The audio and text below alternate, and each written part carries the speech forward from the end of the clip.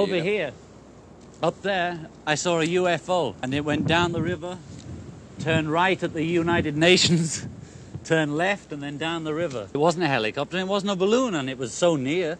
And it looked what sort of uh, round, Just- white, just like- and uh, silent. silent and it looked dark like black or grey in the middle and had white lights just looked like light bulbs you know just going off on off on off on blink blink blink blink round the bottom and on top was a red light